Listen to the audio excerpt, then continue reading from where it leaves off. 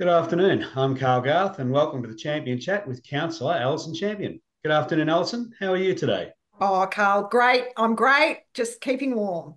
Doing my very best. a bit of a battle at, uh, with this week's weather. And uh, also, uh, today we're having a look at, as you know, the 2024 local council budget. Joining Alison for this discussion is Councillor Rick Garotti. How are you today, Rick? Yeah, great. Very good to be here. Thank you, Carl. Thank you, Alison. Yeah, pleasure. Lovely to have you as always. Good. Okay. Uh, well, let's let's get into it because council budgets they're always always a topic of robust discussions in the community. Mm-hmm. For example, what does the budget cover? What are the residents paying for? You know, what are we getting for our money? So mm-hmm. let's dive right in. And are you able to provide a bit of a breakdown of what areas the Banyule City budget covers? Mm-hmm.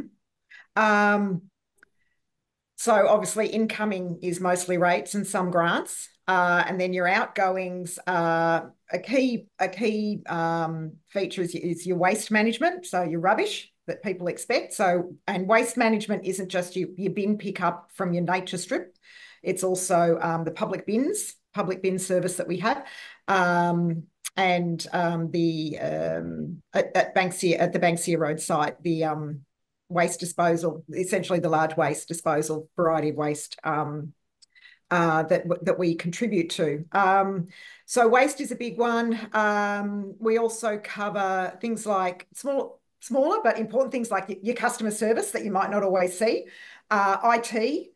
Um, anything um, related to communications, IT, um, Banner that comes through, that's part of communications and the news from our neighbourhood. We also cover um, places like your parks and gardens, um, local roads, drainage, footpaths. Um, so there you go, roads. There's a thing there that people expect to be a major feature of the budget. Um, that doesn't include footpaths. All right, footpaths is separate. Um, and nature strips, that's another story. Uh, we also, um, we cover things like animal management, so our pets, um, uh, building, planning, um, we also cover services like, say, our aged care services. We cover maternal, child and health, uh, kindergartens. Um, we also cover things like our arts and culture area. So um, any art uh, exhibitions, any local artists, we work with them to provide um, displays, presentations, uh, and workshops. Um, what other areas do we cover? I'm just trying to think. Um, Rick, help me out here. There are heaps. I could go on and on, and Rick will jump in, obviously, just think of something else and say something else. Um, we cover, um, I'm just thinking of our departments. We have four major departments. So I'm just thinking of what we cover. Oh, sporting grounds. All our sporting grounds across uh, the, the the area, the um, Banyule, Banyule communities, and there are many, and there are many sports that use those sporting grounds and have to share them. So that's a great big part of the budget that um, we look after. Um, just trying to think what else we do. What else is in the budget there? no, I think um, you've given a good, yeah, really good overview. Yeah, yeah, yeah, yeah, it's a lot. It's a lot that a council does, definitely. Mm. Libraries, there we go. so, obviously, a whole lot more than just the whole uh, blinkered vision of stick to rubbish and roads. And and whilst you know rubbish and roads might make up quite a lot of the budget, um, do you mm. actually know the figure of how much uh, waste management and roads takes up in the uh, council budget? I think waste is about fifteen percent um, of council budget, um, and roads and um, maintenance is probably about 15% as well. Mm. Mm. So, um, yeah, so it's about, a, yeah, at a stretch, maybe a third of the total budget is what people would would call the roads uh, rates, roads and rubbish. Mm. Um, mm. Two thirds actually going to a whole range of other services, which mm. which Alison's outlined. Yeah, mm. and, and and it's really interesting. You've got thirty percent of the budget which some people say just focus on that. 70, 60 to 70% of the budget is on all of those other services that you mentioned. And many of those services are provided for at-risk residents living in Banyule. Mm-hmm. Um, and especially with this current cost of living crisis and getting access to so many of these services, be it for health, food, whatever the support may be, roughly how many at risk residents would rely on some sort of council community service in Banyule? Well, I think at the end of the day, um, probably every single resident in the city w- would use this, the service of council. Yeah. You know, I mean, Alison touched on it. Libraries, mm. um, reserves and parks, yep. um, um, home and aged care services mm. for our senior cits, mm-hmm. recreation and leisure. Um, a lot of people in the city use Ivanhoe Aquatic, the YMCA, WaterMarc. Mm. So I would be enormously surprised. Um, in fact, it's probably it's impossible that there'd be a resident in Banyule that's not utilising a service. Mm. Yeah. Um, because yeah. even just accessing the local roads and footpaths. Correct. Um, but in terms of um, a focus area on those that are vulnerable within the community, um, you know, we're very proud to be supporting organisations like Diamond Valley um, Community Services, BANSIC. Mm. Um, so they're providing information, referral, and support in dealing with government agencies, but they're also running food banks. Mm. And we know at the moment those services have been absolutely overwhelmed mm. because of the cost of living crisis facing the state. Um, and we understand that there's hundreds, if not thousands, in our community that are accessing those services. Um, yeah, so again, very pleased as a council that we'll be able to provide that, Carl. Yeah. And I'm sure that must be a really hard decision making when you've got so many services you already provide, so many that you would like to provide, and how to prioritize them? Uh, well, that's where that's where we we invest about six months of the year having conversations with each other and officers about what the budget looks like. What did it look like last year? And what have we had residents come to us, or what do we see that need to shift or stay where they are. Um, and there's there's sort of the first so at Chris like I mentioned before in other podcasts at Christmas time we get some Christmas reading and we get a folder with a whole heap of um, the, the budget essentially the budget for for mostly the next four years and into the next 10 but mostly we focus on the next four and we read through that and we what we do is by then you know, residents have come to us with ideas about projects or what else they'd like for their organisation, group, whatever. Uh, and we just have a little look. We obviously pass that on to officers. We have a look and we go, is that in there? Is it not in there? And um, then we come back at the start of the year, and usually sometime in February we cover that in a in a we sit together in a briefing and we cover that and we go through that, and that is the start of the next budget for to be um, um, voted on in the following June. So we have a fairly intense sort of four to five months mm. prior to June of the budget and how we're going to make the budget work and um, how we're going to help assist, provide support for as many people as possible, and and um, you know help people with their projects as possible. Um, and look, we're we can still provide. We're very proud of this. We can still provide our rates waiver for those residents who are struggling at the moment financially and domestically um, in their in their home, um, if they're struggling to pay any bills at all. Um, we still they can apply for a rate waiver. And the way they do that is there's actually a point system. So they can apply. There's a point system that they follow. So they're asked questions certain points. And if there's a certain point that they don't reach then they may apply for the rate waiver. So they don't need to pay their rate for that quarter or that yeah, that period of time. Yep. So we're still really proud of that. We do that. Mm. Okay. Well, speaking about rates, um, uh, there's been a lot of noise around councils raising rates for lots of different initiatives that they do, such as FOGO. Whereas in 2023, Banyule was able to limit any sort of rate rise that may have been due to the implementation of FOGO in the way that it was done became a bit of an offset. Um, has council been able to maintain rates at 23 levels uh, this year, or has the rising inflation affected service delivery costs, and therefore we will see an increase in rates?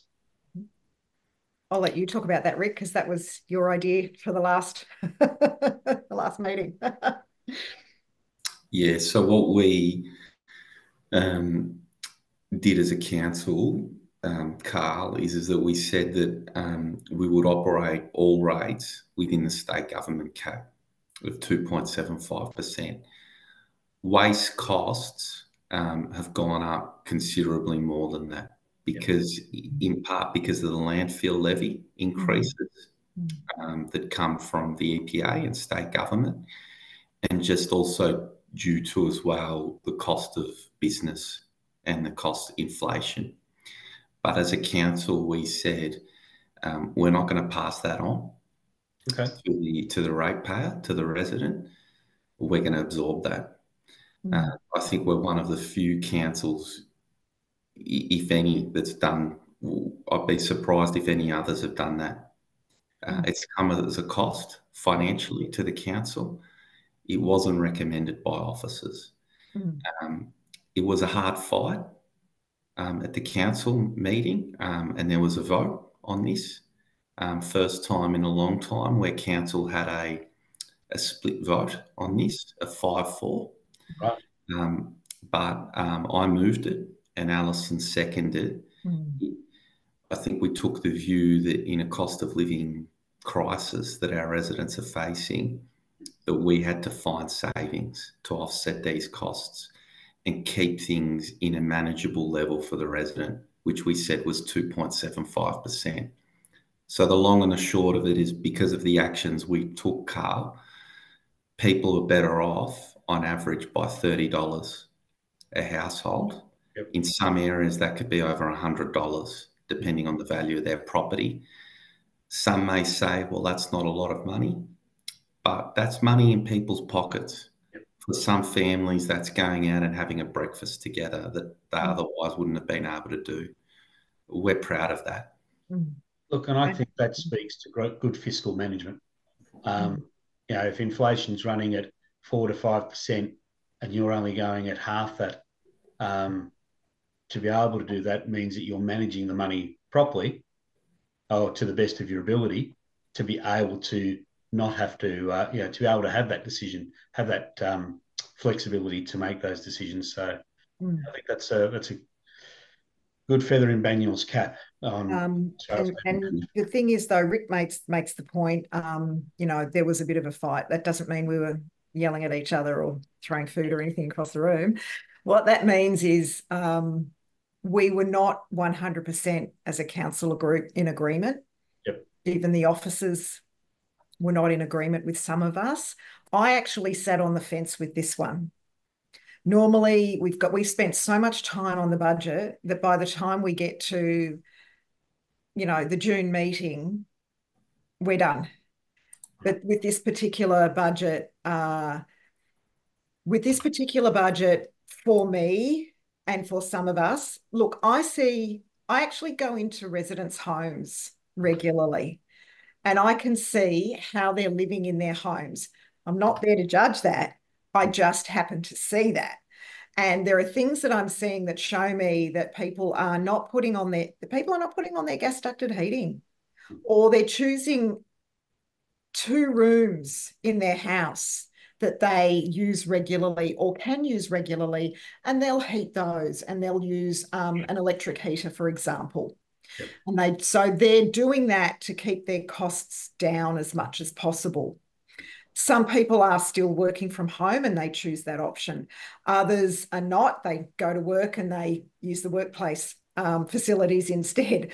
Uh, but I'm I'm certainly seeing on the ground, regardless of what inflation numbers are, regardless of what the federal government's saying or the RBA, I'm seeing how people are living, and there are cost savings. They're doing things that create a cost saving. So for me, knowing that we've got officers who disagree with what we ended up voting on, um, because we are we are covering the costs for our residents and knowing that there are um, you know, there are, you know, we can't keep doing that. Let's be honest, we can't keep doing that. It was a case of this year was this year, this budget was right. We really, really have to be considering our residents as well as ourselves, as well as the council. So, because I'd seen, and I sat on the fence for this particular item, I really I was sitting on the fence. I asked for everyone to speak about it, and everyone gave their opinion. And and at that point, I've just gone, what do I know? What do I see? And I've gone, yes, okay. And we were divided. We were a divided council on this particular item. Yep. Um, and as Rick said, that's not happened before. So for us as a council, um, looking at trying to look after our residents as best we can is what we've tried to do this year. To you could say the detriment to our bucket of money, if you like. It is for the year. It's for 12 months. It's to help people as much as we can get through the get through the next financial year. Yep. Mm. Yeah, and I think Carl, um, what it showed, it, and it comes back to your earlier question around how does council um, make decisions around where to allocate money. Mm-hmm. That was this was in action. So yes, there was a bit of a difference of opinion amongst the group, mm. but I think we're all aligned as a council around doing best for the community. Mm. Some of the councillors were concerned, well, you know, if, if we didn't increase that rate, does that impact future services? Does that impact the future financial ability of the council? Whereas others of us were saying, well, look, the needs are there now for the resident and can we find other savings in the budget? Mm. This is very healthy democracy, and it, I think it reflects well on the group that we can have these differences, we can work through it, and then when the budget came up in final version, we all supported it. So I'm proud actually of how we work through this as a council. Um, you know, it shows that um, you know we are a group of different individuals with different views that bring that to the chamber, mm. but work through it. And I think ultimately we always, we usually get the right decision overall. And. I'm pretty confident on this occasion we have as well. Yeah, yeah.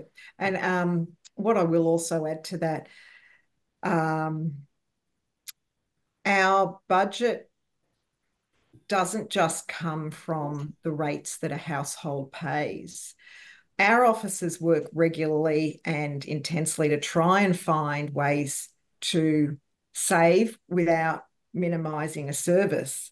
And what they also do is they look for grants mm. from federal and state levels. And what we have noticed, um, our officers, and they report to us, we've noticed that there has been a significant reduction in the number of grants and the amount for each grant that is being uh, advertised from both state and federal levels. So we they're, they're there. It's possible to apply for grants still, but they are there are fewer um, compared with say two or three years ago and beyond. Uh, and the the amount of money that is available for a grant is a lot less than it used to be. So and it's still got to go around the state or it's still got to go around the country. So uh, any organisation that uh, achieves uh, a grant is, is successful in a grant application over the last 12 months, and I'm going to say going into the next 12 months, is very blessed because that will that will help with the the bucket of money that we're able to use to support our our services that we provide. Okay. Mm. Yeah, it's um, I like I like uh, Rick your uh, your your reference there about democracy at work. it is a good thing, mm. as you said. So, you know, but Alison, I really would have liked to have seen some food fights and all that on the video as you're all having your robust debates. It would make for some good. Uh, I bet you you'd get a lot more people watching council. Yeah. Uh, yeah, but yeah, yeah, yeah, we probably would, but that's not appropriate behaviour. Community leaders. So I'll hold that thought though, Carl. Rick and I will hold that thought for you. I'm sure we'd get more viewers, Carl, but we might not be around this time next year then to be doing these sorts of videos with you then. Yeah, that's right. Probably that's not. Right. And it's not about the ratings, Carl. There are no ratings for a council meeting. uh, so just recently, um, a Merri-bek councillor introduced a motion. I believe that the motion didn't actually get up, but they were looking at doubling the rates for residential property investors and then using that revenue to offset rates for residences and businesses suffering cost of living pressures, but also as a way that they were hoping that by doubling rates for investors, they may be encouraged to then sell their property to first home buyers and thereby alleviating the current housing crisis. Now, I'm not going to discuss the merits of that proposal, but I guess the question I do have for you both is should council get involved in what are generally considered to be macroeconomic problems, i.e., national housing crisis, um, you know, interest rates, etc.? Um, I think councils have to um, be responsive to, to the needs of their community. And I think when it comes to cost of living, I think each level of government has a role to play. Mm. And I think as a council, if we said, well, look, that's federal government responsibility and state, mm. and walked away from that, I think we wouldn't be doing the right thing by the community because I think that they quite rightly expect us to do our share mm-hmm. because working all together three levels with different policies, that's how you get an outcome. We did that by keeping the overall rates at 2.75%. Yep. We've done that by having the most generous rate hardship um, arrangement in the state, if not the country. 33% off your rates if you're doing it tough financial hardship, capped at $550. For many years, we froze our fees and charges. Mm. We've also got very strong business support arrangements in place, in particular with our 11 traders associations. Mm-hmm. So that's the approach that we've taken mm-hmm. at Banyule, which is just to really um, keep our costs low as a council, run an efficient council, deliver good services, and then pass on that benefit as much as possible to all residents, but particularly those in need, those doing it hard in, in hardship. Mm-hmm. I think the issue that we would have with the Merri-bek solution is in some ways it's robbing Peter to pay Paul. Mm-hmm. Um, I'd also be concerned that it would result in a, a driving up rents mm-hmm. for those that are renting from those landlords. Um, one of the things that we're going to now look at as a council is, is that we have the hardship in place for ratepayers, but we're conscious that residents who are renting, we don't have those hard hardship arrangements in place. And we we want to look at extending that potentially next financial year to that cohort. So I suppose that's how we're tackling it in Banyule. Mm. Um, Alison, I don't know your thoughts. Yeah, look, agree, obviously. Uh, I'm going to go down the path of sort of a more entrepreneurial mindset. Over the last few weeks, um, I've been I've been having some interesting conversations with a variety of people who have their thoughts on what council should do regarding rates and uh, the state of the economy and um, the budget in general. And there are people who've come to me and and just said, Alison, you need to raise your rates and cut your services. Okay, raise your rates, cut your services. Now, as a Banyule resident, if you open your rates and you look at them and go, oh, they're a lot higher than last year, and then you go to use, maybe you're an older person and you used one, want to use one of our aged care services you can't access that now because that's been reduced. Maybe you're um, a young person and you really look forward to Youth Fest in September. That's not happening because that's cutting a service. Okay. So imagine that. That's a general broad overview. Mm. I guarantee, and I'm sure Rick does too, no one on council, none of the officers want that for our community. because that's the real simplification of what that will be living in Banyule. You've got really high rates to cover any losses, and then you've got re reduced or no services that you on a daily basis may use. Yep. And your life, therefore, is not benefiting. You are not benefiting as a human being. So, um, so then coming back to the Merri-Bek su suggestion or you know possible solution, where then, as we say, pay, you know, take from Peter to pay Paul. So an investor, why does one invest?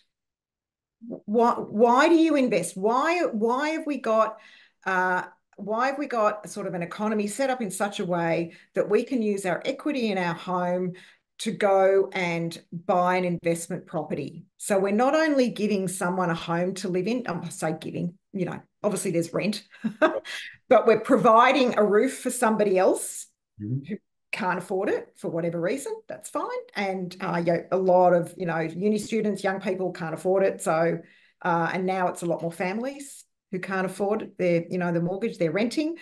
Uh, and so we're providing a roof over the head as an investor if you're going to make investors pay, which by the way, right now, the state government is doing with a massive increase to land tax. And so many people have said to me over the last 12 to 18 months, oh, Alison, have you seen my land tax bill? It has gone up to this. So I've gone, no, I haven't seen your land tax bill, but sure, I can hear, you. I hear you. Yep. So there's a lot of that happening right now. So the state government's already put up the land tax significantly. Um, um, and so if we're so if our investors uh, and there are other taxes coming on, by the way, uh, they're actually in the pipeline to be introduced in the next 12 to uh, 12 months to two years for investors. So investors are actually being hit. Yeah. So the big picture is we're not being encouraged to own any property in this state except our own home. Mm. We're not being encouraged to invest.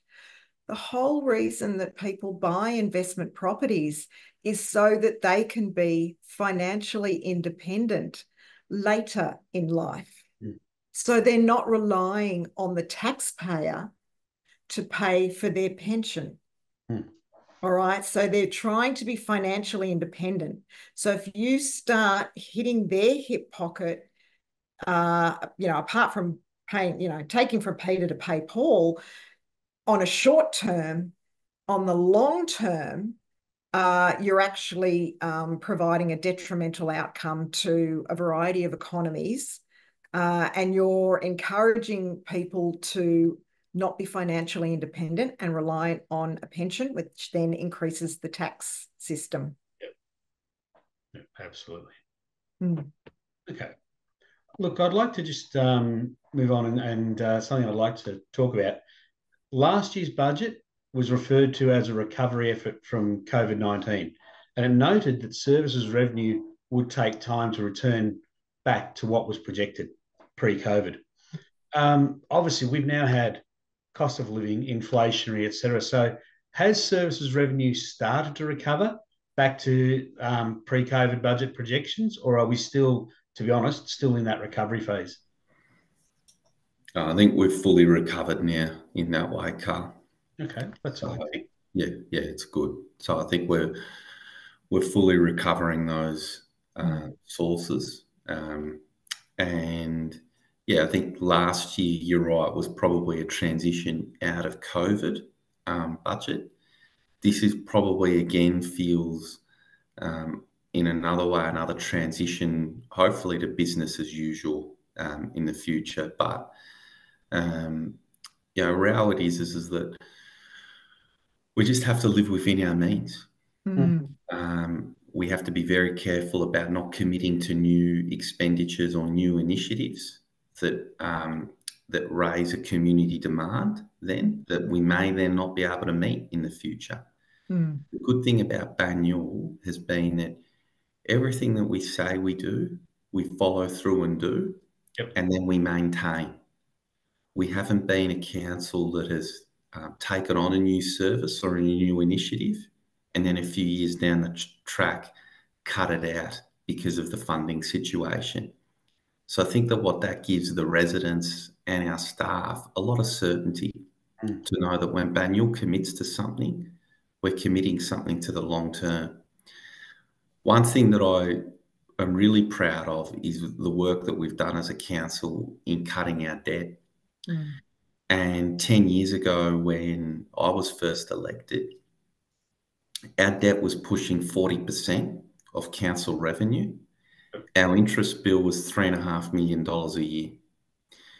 This coming year, um, in the budget, our debt is less than 10% of council revenue. We're only spending $1.5 million a year now on interest. That's another $2 million a year that we're putting back into the community and not spending on debt repayments. So that's the benefit, I think, of what you get of just being mature about things, thoughtful, considerate. We've we've done so much. The rates hardship, our inclusive jobs program. We we did the urban forest strategy. That's in the budget.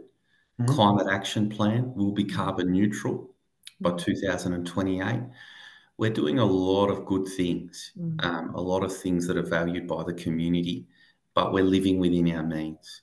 Yeah. Um, and I'm just very glad to be part of a group of councillors that that think in that way. Um, and and that's that's really the challenge now that we've set ourselves going forward is is to maintain that um, because it's it's hard. Like Alison was saying, it involves going through the budget line by line every year with that discipline. Um, Mm. but I'm committed to doing that. I know Alison is, and, and I know really most of our colleagues are, Carl. Mm. Um, and look, I'll I'm, I'll add something there. Um, so you know, you you asked the question. Obviously, yeah, we're we're we're we're close to fully we're close to fully fully recovered. Um, as you know, as we were saying earlier, we had a challenging meeting. And we we didn't necessarily agree with with some of us didn't agree with each other. Some of us didn't agree with officers' recommendation. Uh, however, we are on the path that we're on now, and uh, we know that our residents will will appreciate it. Uh, I'm go- I will also add um, for those who believe that councils just need to focus on roads. What is it? Rates, roads, and rubbish. If they did do that, there would be no applications for grants, which are provided, okay, by state and federal levels. Uh, there are about, look, there are essentially in Banyule, there are four major departments um, that these services cover. Now, your rubbish are actually falling under two, uh, sorry, they fall under, they are two items that fall under one department, and that's assets. So our assets department takes care of our roads and our rubbish. That's three other departments in Banyule that sort of become obsolete. That's a lot of people who aren't employed. Mm. That's a lot of people who are not connecting and providing expertise for our community to provide services that actually are important for them. And then, therefore, if councils or local government isn't providing those services and employing those people to provide those services, what does the state look like? Who's going to take which department? So, is it federal or state that's going to take on board uh, a lot of services like your, you know, your aged care, your groups like your neighbourhood houses and your um, scout groups, um, your sporting clubs, arts, culture, etc., your libraries. There are a lot, a lot of services that would actually be under either state or federal level in this current um, political um, structure that we have in Australia. Mm. Yeah, and obviously that's not going to happen, Carl. I mean, that's that's what our commitment as a council is to maintain all of those services and infrastructure. Mm. But I think it is important to say that look, when we hear from the community around where they see ideas or opportunities to do things better, we do hear that and engage in that. Mm. We we're a very modest council in that regard, and we're open to the ideas and Mm. open to the discussion. Mm. Um, we, we just encourage it to be and I think this is where Alison's maybe getting at, just a mature conversation. Mm. Say, well, look, there's a to go to just suggest that it's roads and rates and rubbish. That's a little bit, um, yeah, that that thinking is not realistic. Libraries, community services, aged and home care, Mm. um, you know, vaccinations for Mm. young children. The list goes on, um, and I don't need to go on. I need, don't need to trot it out again. But I think we just need to be realistic then about saying, okay, well, if you do want to, you know, for residents or ratepayers out there that do want to see a sizable cut, let's say, in rates, Mm. let's have an honest conversation then about those services. Let's not just just talk pie in the sky and big picture. You know, let's let's engage in the detail. Um, and then if you if you do, you know, if if if you do think that things should be removed or or cut back, well then have a conversation about it. So Mm. we're open to that. Yeah. Um, but we want to just have a mature, realistic conversation sometimes from some quarters, we're not always getting that. And, and I think Alison has really highlighted that Mm. in a bit of what she's had to say today and also um, at the last council meeting. Mm.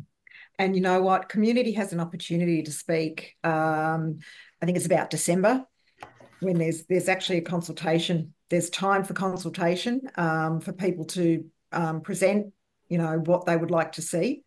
Um, and then that's then at the start of the following year in about February, March, February, March, there is an opportunity to speak again to council um, about what you'd like to see in the budget. So there are a couple of occasions during the year where where the community has an opportunity to say what they'd like to see and what they think. Now, Carl and Alison, I've got to go because as councillors, we do have day jobs. Yes. yes, Um. I was just wondering, was there anything else that you thought you wanted to cover off, Carl or, or Alison?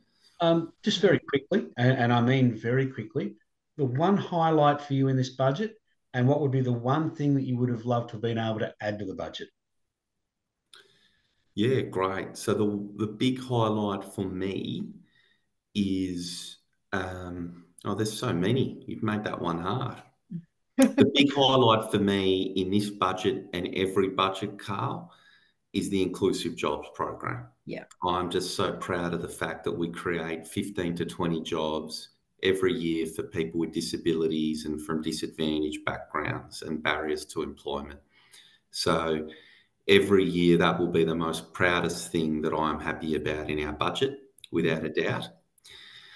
The one thing that I would have liked to have seen gone into the budget, and uh, Alison will smile about this, um, was the Banyule Blitz. Yeah. Um, I wanted to increase our service levels of street sweeping, Mm. um, of um, repairing roads and, and footpaths, um, uh, maintaining our reserves. Um, I wanted to put in an extra budget of about a million dollars a year to do that. Um, didn't get quite over the line on that one. So, um, but I'll have a crack next year if I'm back and if Alison's back. Yeah. Uh, hope that answers your question, Carl. does. Thanks, Rick. And you'll get my support on the uh, the blitz. Uh, all those gum trees. Mhm. Happy to happy to see a bit more sweeping. Yeah. Well, well, advocate to your other councillor and councillor champion here because I'm doing my best. Shall do. Thank you for your time today, Rick. Yeah. Thanks so much, Rick. Always a pleasure. Thanks, guys. See Bye bye. Cheers, mate. Yeah, great. That's a great, great question, Carl, and great, great response there from from Rick. Yeah, So, Alison, uh, I'll put the Mm. same question to you. yeah. You, what was the highlight? What was the one highlight for you in this budget? And what was the one thing you wish that you had, could have been able to include? Okay, I'm Councillor Liz Elizabeth Nealy and I are on the warpath for uh, the handful of unsealed roads in Ah, our wards. Yep. In the north, northern and eastern parts of Banyule. Actually, looking at Sherbourne Ward, it's actually northeast, north and east Banyule. Yeah, and Councillor Liz in Beale Ward is North Banyule. Uh, so we still have some unsealed roads in our wards, and for certainly, certainly the the last four years. This term on council, we have had regular conversations, meetings with residents uh, about their roads, um, um, surveys, offices, costs, everything associated with that. Uh, I'm still on that. I still, and Councillor Liz is as well. Um, we know we're we're same as uh, Rick with his um, blitz, his, um, blitz, his Banyule blitz. We know we're on a mountain. we know we're at the bottom of the mountain, and we know we need to keep pushing. Uh, and it's a case of um, being very strategic and being very strategic about how the result that we would like to see happens. Yep. And, and really being in conversation with not just our councillors, but also our residents and the officers, and being very collaborative and coordinated about the best outcome or an outcome that's as close as, if not what the residents would like. So I would, I know that she and I would love to see that um, at this stage where, like Ricky is, we're disappointed so far with the response and the outcome for our fellow fellow councillors. And look, it partly comes back to, you know, does my ward benefit from that? So if the money's going to that, does my do my residents benefit? And if the answer's no, or no, not really, I'd rather see the money go towards this, which is better for the whole of Banyule, or I'd like some of that to actually come to my ward. If we don't see our ward being looked after, really, that's the bottom line. And really, is that project going to benefit as many people as possible? That's when that's when there's a sticking point. So Rick's got his sticking point with his um, blitz, and Liz and I have our sticking point with our unsealed roads. And we are all going to stay on those journeys and have those conversations we need to have. With regards to a highlight, um, probably the highlight for me is just the general we we have a rate cap that's being advised by state we are sticking to the rate cap we could have increased rates by 27.5% for the next financial year, which was what was advised by officers. 27.5%. Wow. That's how much in the last, you know, couple of years we've been looking after our residents through the rates waiver and other things. That's how much we're taking from, say, um, let's say, you know, the landfill fees that state government are imposing. That's what we're taking on board. You know, the buck stops with us. So this is where, you know, when you just do the numbers and you go, we're actually taking on board a lot for our residents. So we get a rate cap increase, we get an increase and we can, we've got a rate cap. So we're going at the 2.75%. Whereas if we'd gone for the, imagine that, you go and you can do your maths on your rates now. 27.5% is a big chunk to cover those increased costs from other areas that we're looking, we're, we're, we're holding on to those. We're um, covering those. I think from memory, my rates was 2,400. I don't know. Sure. Let's go with 2,400 right. times 1.275. 27 and a half, yeah. Extra $660. For the year? Yeah. That's a lot of money. Yes, especially when you're struggling, as uh, Rick said, to put food on the table. Yeah. And there are people not uh, who would, like I said, they're not choosing to not put the gas ducted heating on. Yep. Yeah. And so that's it. Yeah. It's and people are genuinely still choosing between heating and cooling, food, rent or mortgage, health. Mortgage. Look at the mortgage increases. Yep. You know, from May, was it May, April 2022 for the next over 12 months. It was about 13 months. Hmm. Every every month. You know, people were real people were screaming. They still are. It's not any better. so we're holding on, we're taking on board. The buck stops with us for now for this budget. We're taking that on board and I'm happy with that. And I'm really happy with the conversations that we had with uh, each other as a councillor group. You know, we agreed to disagree. Yeah. That's it. We move on. No hard feelings. Yeah. No, Yeah, And, no. and get behind it. Yeah, and you get behind it. And um, you know what? We're, you know, it's clear publicly we disagreed. And I'm happy to have the conversation with people. Look, we disagreed because um, and yet there are, you know, sometimes um, you know, there are there are councillors who really want us to be seen as a um, you know, a united front.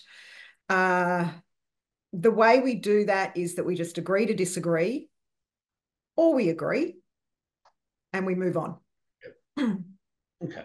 Yep. Look, I know that time's a bit of the essence, but one last question for you, Alison. Bit of an, I'd say it is an easy one. Maybe not.